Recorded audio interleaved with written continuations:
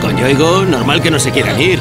Porque piensan y porque tienen gigas infinitos, fibra súper rápida y nunca les han subido el precio. Pienso, luego Yoigo. Yoigo,